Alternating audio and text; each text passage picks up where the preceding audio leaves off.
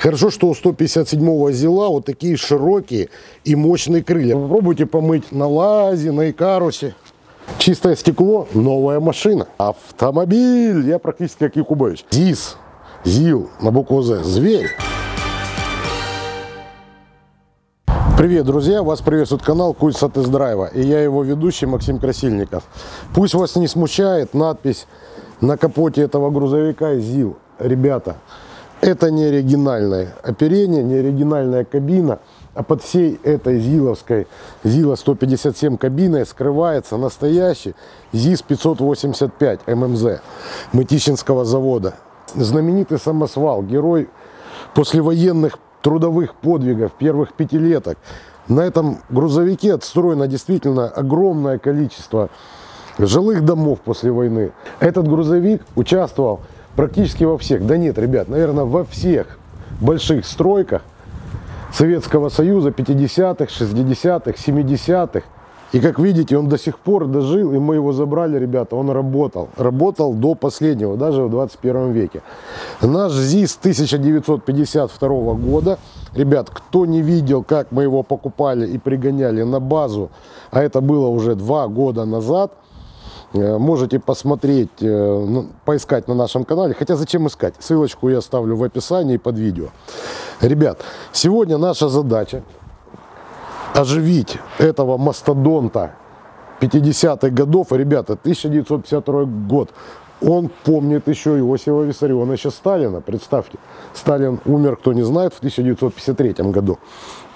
Поэтому это еще сталинский автомобиль в чем тоже его как бы оригинальность присутствует.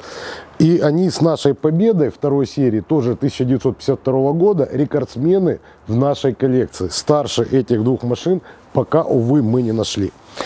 Э, когда придет очередь реставрации этого грузовика, ребят, сказать точно не могу.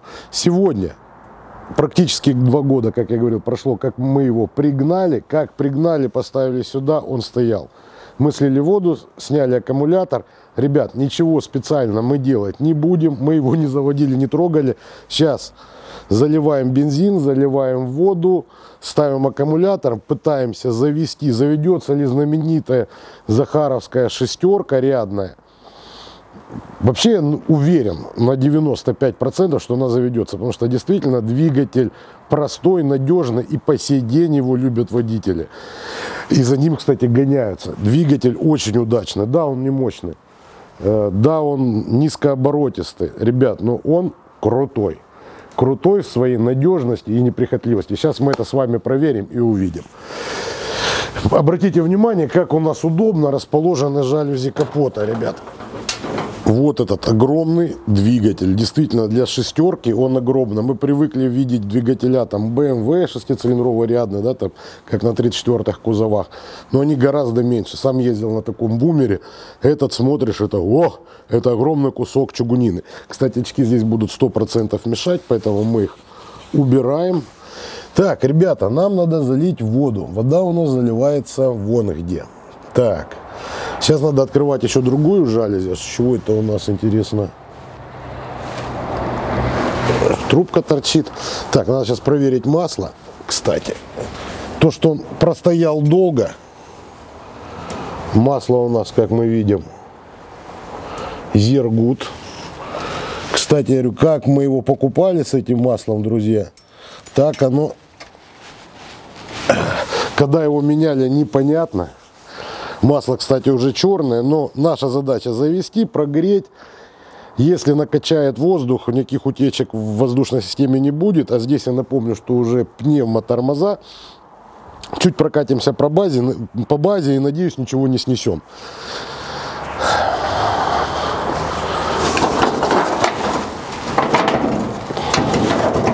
О, система ниппель, да, посмотрите, какой обалденный обзор. Компрессор, примитивный карбюратор. Так, вода. Вода у нас заливается с Деся. Если честно, уже, ребят, не помню, где находится у него. Все поржавело. Я думаю, что этот грузовик, наверное, никогда антифриза, литосола и не видел.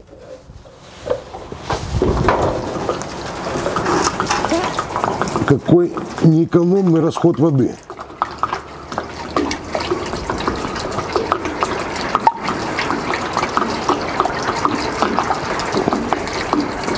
Кстати, интересно, мы закрыли. А ну, тут я не проверил.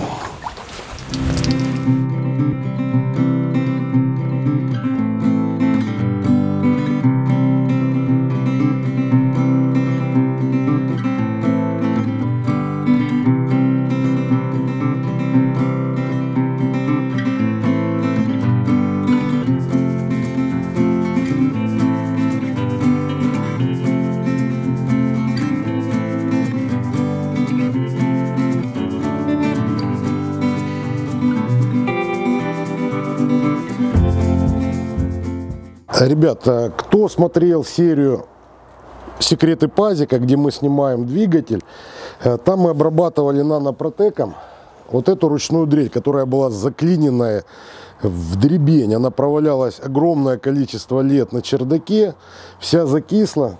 Вот это средство у нас проникающая смазка нового поколения. Сейчас объясняю, почему я про нее вспоминаю. Э, ребят, за 40 минут съемки тогда э, раскис только у нас патрон. Как видите, он и сейчас у нас крутится, все, губки ходят нормально. Но э, сдвинуть дрель больше, чем на миллиметров 5-7 я не мог вот таким вариантом. Потом мы уехали в Харьков, она провалялась опять на улице, залитая нанопротеком. Ребят, Даю слово, что ничего не делали. Крутится мягко. Не знаю, микрофон передаст и крутится легко. Но это как, так как нас не было, Серега сказал, что где-то сутки она пролежала, и через сутки подошли ради прикола попробовать, и она крутится, ребят. А она работает. Ржавчину снимает, доказано. Э, поэтому, ребят, как я и говорил, я ничего не буду вам предлагать то, что не знаю, и буду проверять на себе, если что-то рекламирую. Э, это, конечно, реклама. Вот. А сейчас, ребят, отложим дрель. Дрель реанимирована, теперь ее надо, конечно, разобрать, вычухать и покрасить, чтобы она была красивая. Это был тупо эксперимент, на чем не жалко называется. Смотрите, какая проблема есть на ЗИСе с открыванием двери. Поэтому, ребят, кашу маслом не испортишь. Давайте мы по максимуму зальем. И оставим его на какое-то время.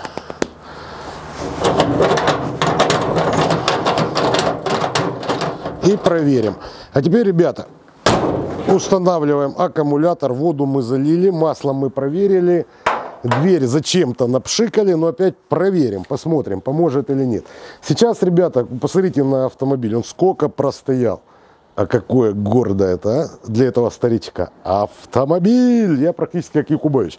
Теперь я вооружаюсь э, ведерком с водичкой и тряпочкой. Чуть-чуть надо согнать э, пыль хотя бы со стекол, чуть-чуть привести порядок на рабочем месте водителя, потому что там пыли куча. А я к своему студу куда-то так давно работал физически, что засунул куда-то нашу робу и найти ее не могу. Вот теперь ломаю голову, либо в стирку домой отвез, вот не помню. Кстати, как я давно ничего не брал в руки тяжелее вилки и ложки. А, ну иногда еще камеры для трудовых будней кузницы. Ребята, посмотрите, в какой они приглядной позе. Хорошо, что у 157-го Зила вот такие широкие и мощные крылья, потому что мой вес составляет 110 килограмм.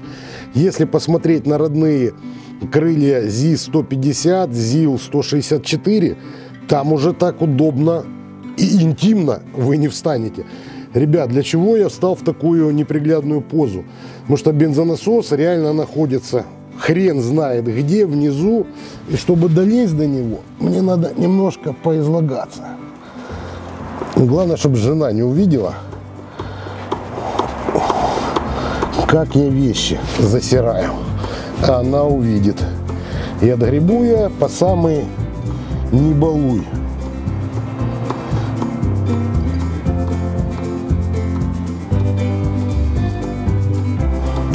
либо в баке вообще сухо было, что да нет никакого ощущения, что бензонасос качает.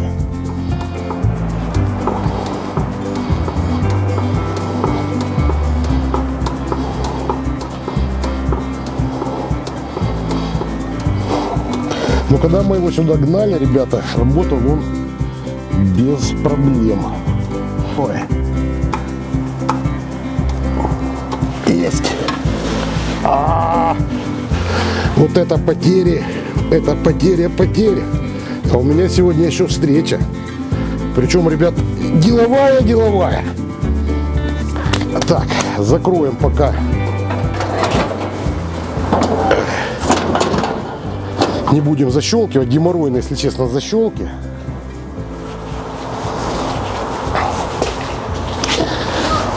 Будем надеяться, что больше...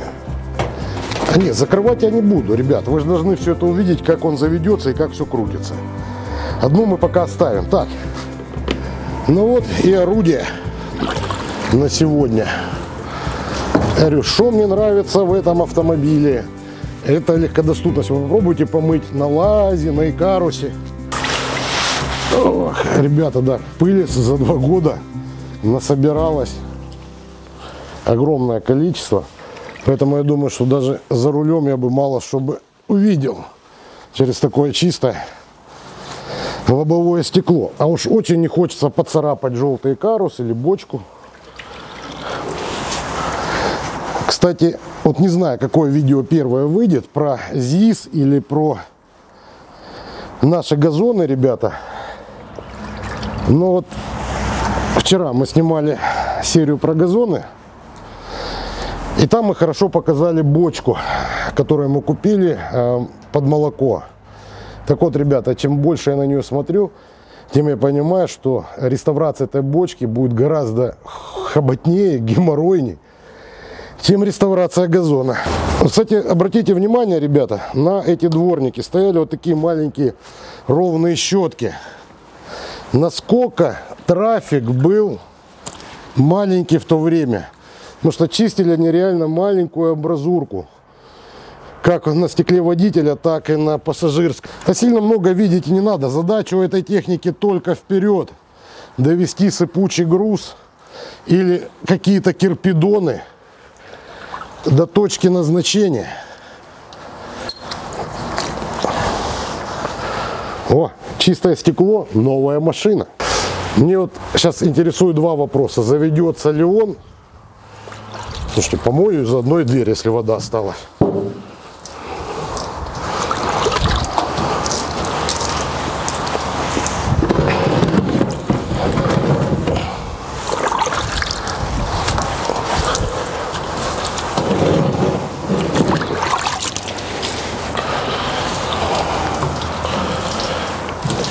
Да, друзья, очень хочется побыстрее отреставрировать эту машину.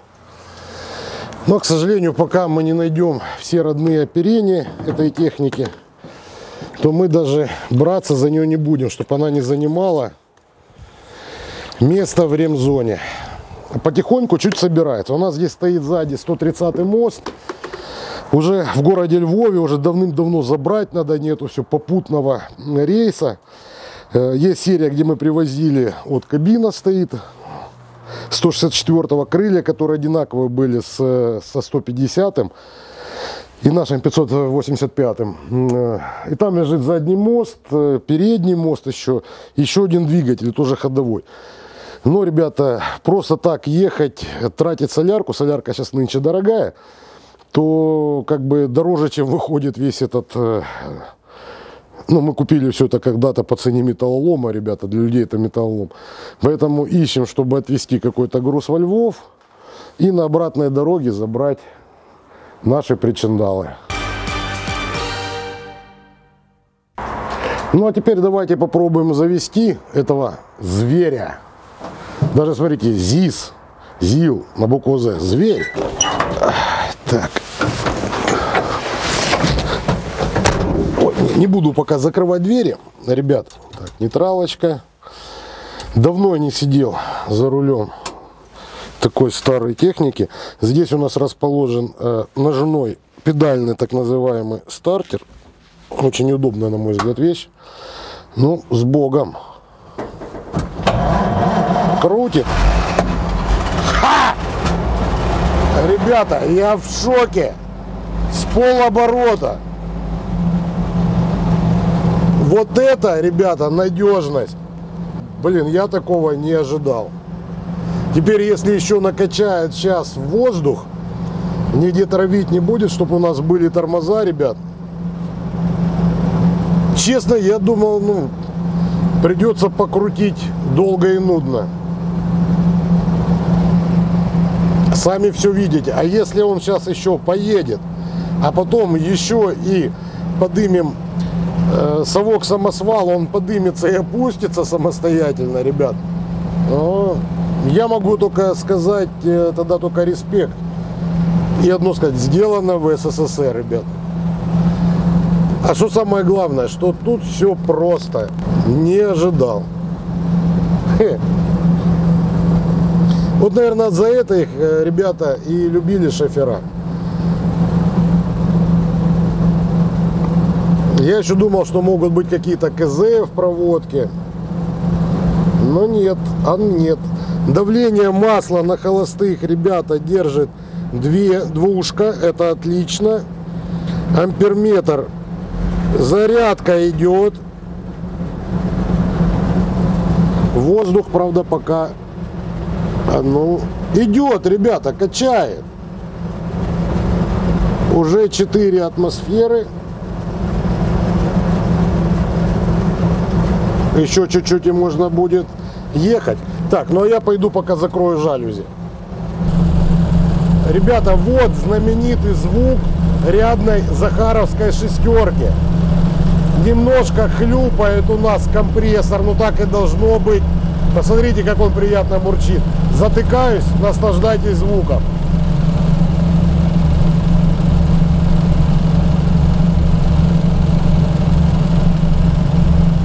И как гордо на верхней плите двигателя надпись «Сделано в СССР». На русском языке, ребята, не на английском, как сейчас везде делают. Выпускаем у себя, пишем на английском. Зачем? Не знаю. Все, компрессор отключился. Значит, воздух набрал. Э, система набрала. Сразу, видите, пропал звук компрессора. И посмотрите, как ровно, ребята. Практически нет вибрации. И давайте вспомним то, что этот двигатель еще не капиталился. Эта машина не проходила реставрацию. Как она есть, как мы ее пригнали, если мне память не изменяет, в районе 80 километров, так она и стоит. Ну что, закрываем капот и попробуем проехаться. Защелкивать я его не буду. Я в шоке.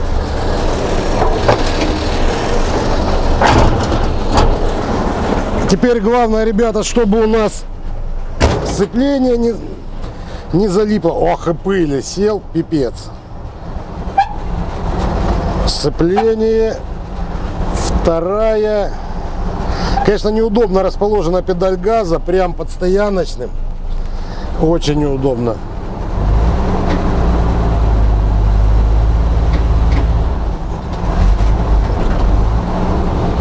Да, сцепление чуть-чуть залипает, ребята, но он едет. Третье.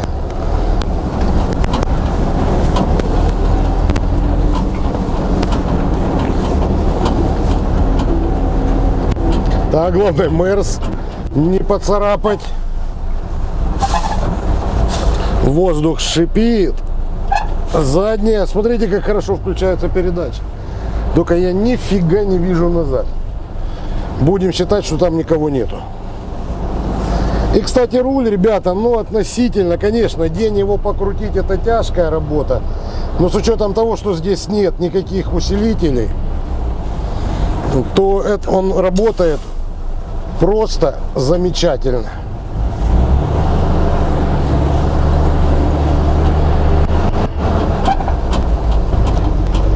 Кстати, коробка без синхронизаторов, обратите внимание, со второй на третью перешел, ребята, без двойного выжима. Коробка сработала тихо, просто идеально. Бочка молоковозка мешает нам маневрам. Опять включился компрессор, характерный звук.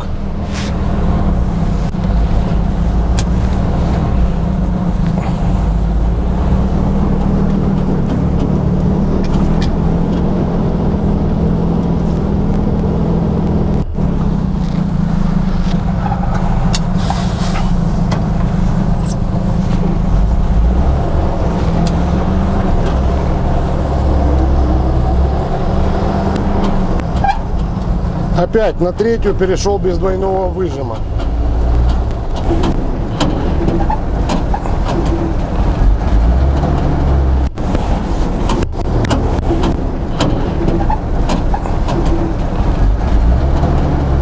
В принципе, можно спокойно трогаться и на третьей, ребят.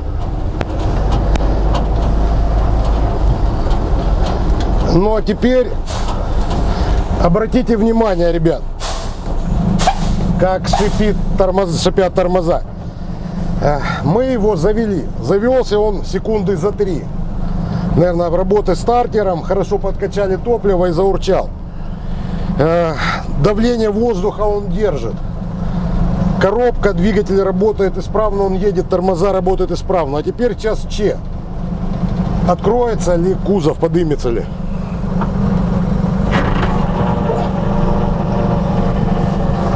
Пошел, ребята, пошел, смотрите.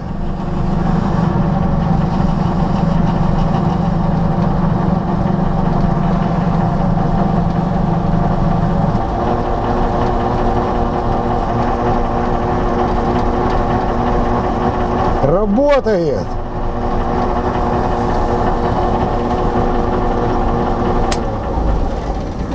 А теперь давайте рассмотрим его получше.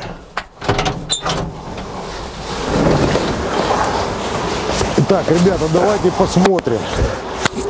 Поднялся, держится. Конечно, ржавчины, вот когда поднимаешь кузов, ржавчины немеренное количество. И даже отсюда видно, что все листы сгнили. Поэтому работы по восстановлению самого кузова будет огромное количество. Да и самим грузовиком придется шасси помучиться очень дико.